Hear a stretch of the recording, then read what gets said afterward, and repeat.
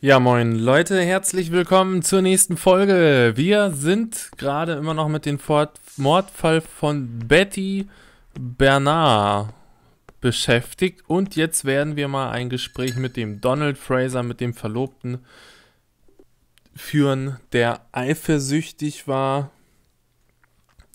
der eifersüchtig war und der sehr fragil und gewalttätig werden konnte. How do you do, Mr. Fraser? You Hercule Poirot. Mr. Hastings said you wanted to speak to me. Yes. I know that it may not be at the right time, but I would like to ask you a few questions. Wollen wir den mal ein bisschen aus der Reserve locken? Ja, ne? Machen wir den mal ein bisschen sauer.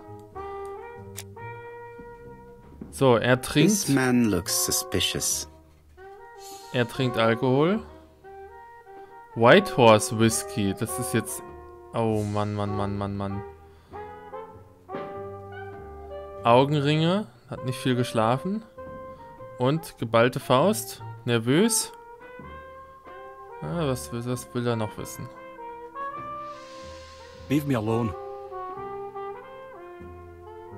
Donald Zerknitterte Fraser Kleidung. is in a terrible state, as if he hadn't slept all night. And he's drinking White Horse. Ich meine, der kann nicht wissen, dass der Mörder White Horse getrunken hatte, aber wenn er das war, wirklich, dann wäre es ja blöd, wenn er das jetzt, wenn er jetzt wirklich das Zeug trinkt. Naja, gut, wir werden ihn jetzt mal richtig a aus der mistake. Reserve locken. Betty isn't dead. Sadly, your lady friend has been murdered, Mr. Fraser. Oh, Betty, if only you'd listened.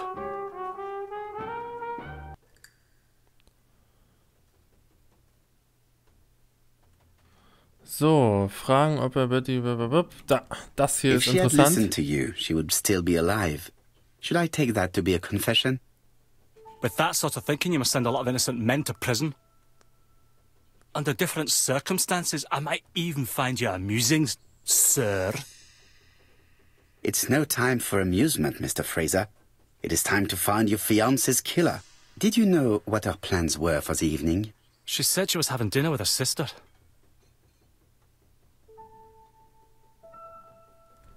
So, aber ihre Schwester war ja in London. Yet, Megan only returned to Bexhill this morning, Mr. Fraser.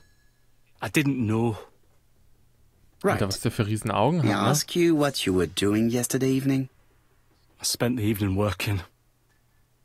Your colleagues can confirm this? No, I often take work home with me. Hm, sehr verdächtig.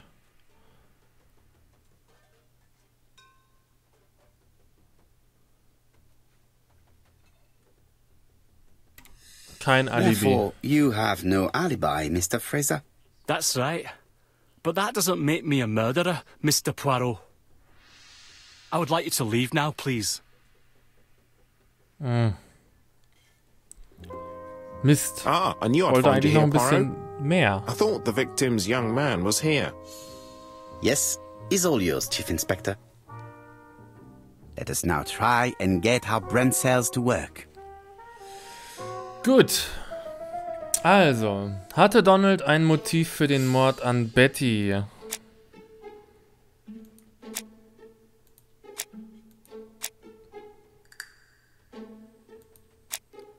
Kein Alibi. Das ist ja eigentlich kein Motiv. Äh. Naja, sonst würde ich sagen, hier und gewalttätig, ne? Hm, doch nicht. Motiv. Das ist ja kein Motiv. Eigentlich. Das hier ist ein Motiv. Da sie ging häufig raus.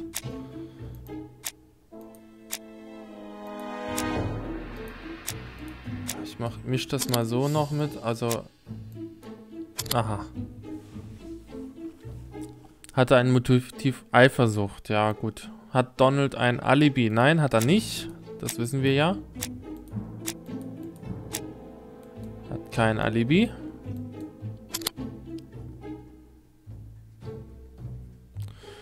Hatte Donald ein Motiv für alle Morde? So, ja. Wenn er das, den einen Mord begangen hat, hat er den anderen auch. Aber warum hätte er die arme Frau da aus dem anderen Ort ermorden sollen?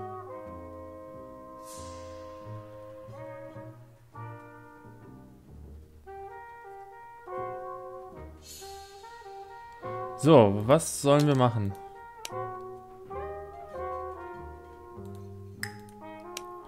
Tatort, okay. Na, ich bin gespannt. Fraser doesn't have an alibi and he's extremely jealous. You are very skilled at summing up. And yet you haven't asked Jap to arrest him. It is too soon. But I agree, without the letters announcing the crimes, Fraser would already be behind bars. Bon, I think we have enough elements. Let's reconstruct the events at the scene of the crime. Na, I can't imagine how the murderer wasn't seen, though. Surely she must have struggled. Let us try and imagine the scene. oder sie hat ihn schon gesehen, aber hat halt nicht erwartet, dass das halt ein Mörder war, ne? Also, dann bin ich mal gespannt, ob wir es diesmal auf Anhieb hinkriegen. The killer and the victim are walking on the beach. Miss Betty has a bag, a belt around her waist, and carries her shoes in her hand. Both of them walk slowly to hut number five.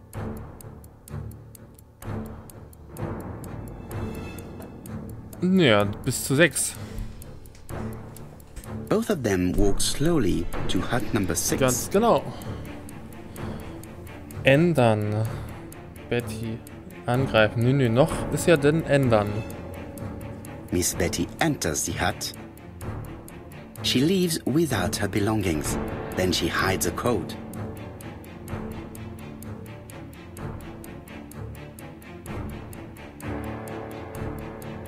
Und jetzt greift er gleich ein. Den Gürtel ausziehen. Nee, noch, ist, noch müssen sie ja ein bisschen weiter, ne? They keep walking. Then she removes her belt. The murderer moves behind her and then attacks her by surprise. The body falls, lifeless, on the sand. Everything appears to match the crime scene, mon cher Hastings. That is exactly what happened. Na, geht doch. Also.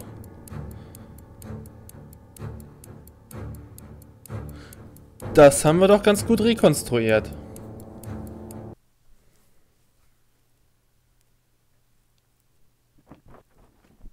Without the ABC, we might have suspected Mr. Asher and Mr. Fraser. But by signing his crimes, the murderer is making sure he's accused. In a way, it is very generous of him. Generous? The murderer seduced Betty in order to lure her to the beach and kill her. Indeed, the young woman was certainly careless, but not stupid enough to follow a stranger. What are you planning to do, Poirot? Return to London, mon cher Hastings. Aber das war nicht dieser Donald, ne? Das war ein anderer. Schätze ich. So. Ja, Kapitel 2 ist damit dann auch quasi erledigt. Das passt eigentlich ganz gut, weil ich auch gleich die Aufnahme erstmal beenden möchte. Aber erstmal fahren wir, fahren wir noch mit dem Taxi zurück. Ah, sonst ist die Folge so kurz. Gucken wir mal, was wir noch mit reinnehmen können.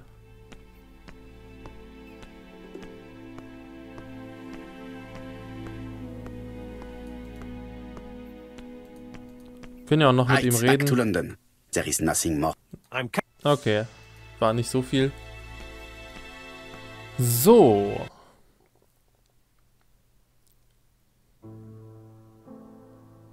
Jap has decided to reveal details to the press. The alphabet murder is now famous. It is not a bad idea. The more people who know, the greater our chances of finding out something of interest. Poirot, I have a bad feeling.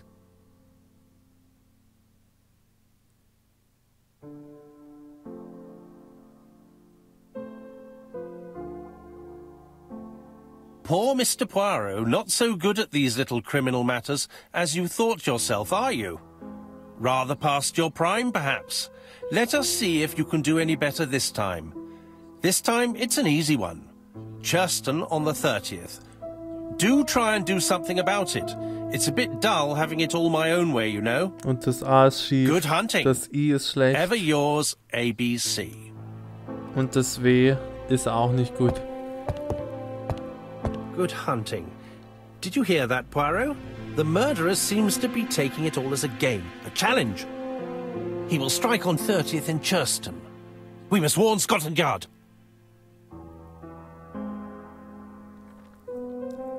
Na, welches Datum haben wir? By the way, Hastings, what day is it? Hmm. Well, looking at the calendar, it's the 30th. Hastings, today is the 30th. No time to lose. We must prepare our suitcases for Churston. Mon Dieu, it is already 10 o'clock. I will call Scotland Yard immediately. Dann kommt der Brief aber ganz schön spät, ne?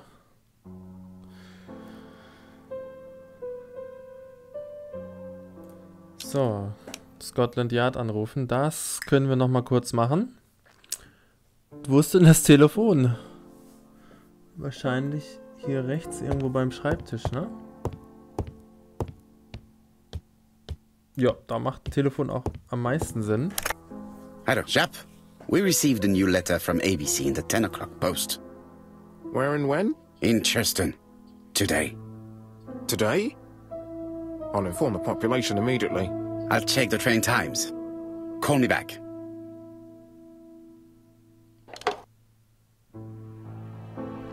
So, sind wir schon in Kapitel 3? Nein. Noch nicht. Also, Reise nach Churston vorbereiten. Dann geh doch mal hier rüber. Mm -mm -mm. It is now the right time. Was sollen wir denn vorbereiten? Den Brief mitnehmen. In his haste, Hastings tore the envelope.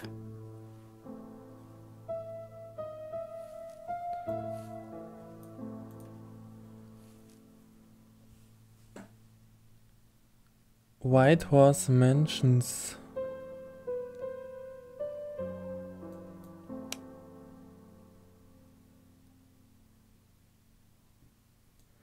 Not known at White Horse Mansions and White Horse Whitehaven Mansions.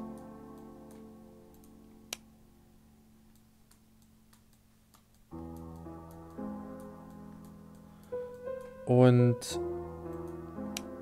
der Brief Pour Mr. Poirot. Ja, das wissen wir ja.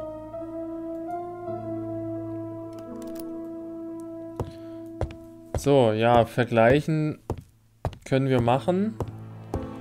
Aber das habe ich ja schon gesehen. Ist ja It is klar. not a good time. Nicht? It is not a good. Nicht? It is not a good. Nicht? Okay. Ich möchte ihn doch vergleichen.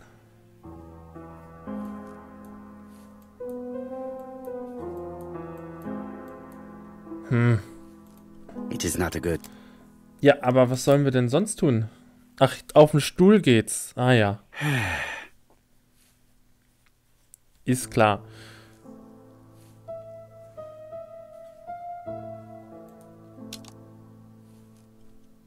Wir können uns ja nochmal im Spiegel angucken.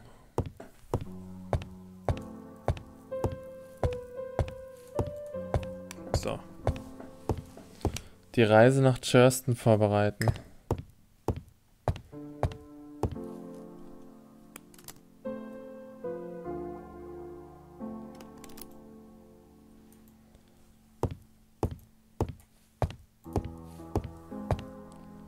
Hastings, what you are doing is an absolute disaster. That is no way to pack suitcases. Heavens, we must hurry. We have to get to Churston before the murder. Ich kenne ihn nicht aus den Büchern, aber ich gehe davon aus, dass er wirklich Ordnung. Hastings, order and method are Brauch, always ne? Wir müssen ja Ego-Punkte haben. Okay, okay. Einer, I'll na let gut. you pack them. All the same, it really is a disgrace to leave your belongings in such a mess. Ungleiche Socken. Nicht geschützte Flaschen. Nicht richtig zugedrehte Zahnpasta. Badehandtuch. Und schlecht gefalteter Schlafanzug? Voila. It only took a minute. Poirot, you were right. I've just consulted the ABC guide. There's no hurry. The next train doesn't leave till 11.45. You see, there is no need to hurry. We will not be in Churston until tomorrow morning. After the murder. But why has the murderer warned us so late? It's not what he usually does. Das wäre jetzt ja Did he kein do it on Wettkampf für purpose? ihn, ne? Very good question, Hastings. We should also compare the letter we have just received with the other two. Although I have very little doubt about what we will find. Okay. Schneeflocke. So. Ach, jetzt doch noch vergleichen. Das wollte ich ja schon, aber... Er steht da abfahrbereit. Ach, dann machen wir hier noch ein bisschen Schreibarbeit.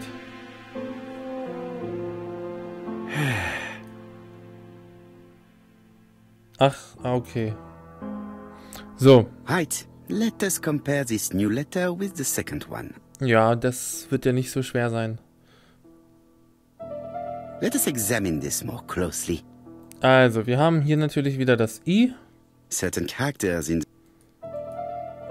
So, Yes, this I. so, und das haben wir ja hier auch. So, ich überspringe das mal immer relativ schnell, was der sagen möchte. Wir wissen ja eigentlich, Yes. was los ist. So, dann haben wir das A. have to find some other similar Ja, ja, ja, ja. Dann haben wir da noch das A. Yes, the A. Right. Let- That's right. The Und das I have to find some other similar defects to confirm my theory. So, wo haben wir ein W? Hier haben wir ein W. Hmm. The W is not. Und das haben wir hier Right. auch. Let us compare this with the. Of course, the W characters in the two letters do indeed have the same defects. My theory was right. These two letters were written with the same typewriter. Tja. Dann Let us now try and get our brain cells to work. immer noch nicht fertig. So, warum kommt die Benachrichtigung des Mörders so spät?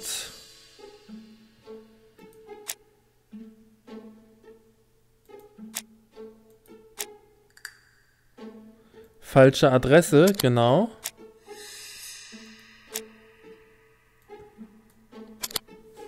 Der Brief, Brief wurde wegen einer fehlerhaften Adresse zu spät zugestellt. Das ist natürlich The letter schade. should have arrived in time. The postmark shows that it was sent three days ago.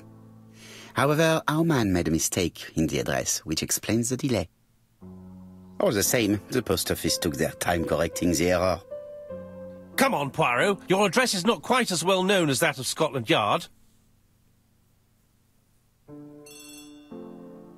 Poirot, the So, Telefon, dann.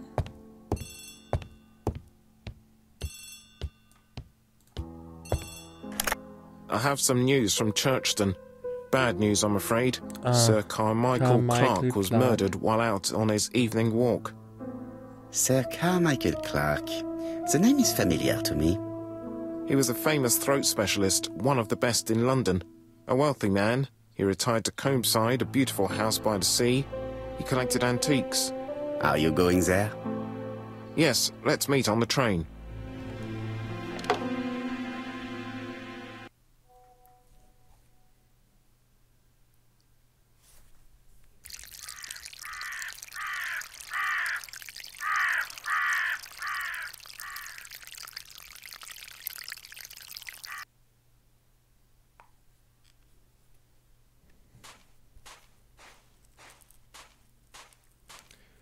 Da haben wir The victim is called Sir Carmichael Clark, one of the best throat specialists in London. The body was still warm when we found it. If we'd been warned earlier, we definitely could have saved him. It appears that the murderer made a mistake when he wrote his letter. A mistake? Lucky for him. And what if he did it on purpose? No, no. He's defined his madcap rules and he's sticking to them. It's a matter of pride for him. Shall we go up to the house, Poirot? You go, my friends. I will come soon.